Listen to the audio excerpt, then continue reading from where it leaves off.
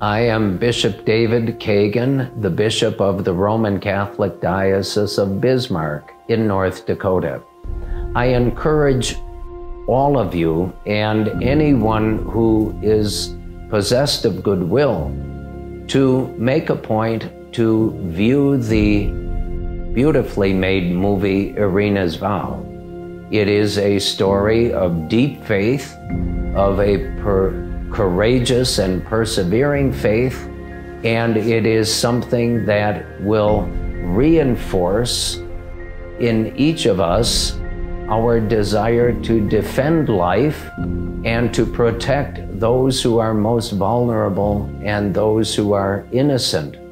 It is a historically accurate but yet disturbing film about the atrocities and the unspeakable evils imposed on humanity by the Nazis during the Second World War. But more than the evil presented, we have a message of great hope that God does not abandon us and God is always faithful to us, and it is for us to persevere in our faith and in following His will.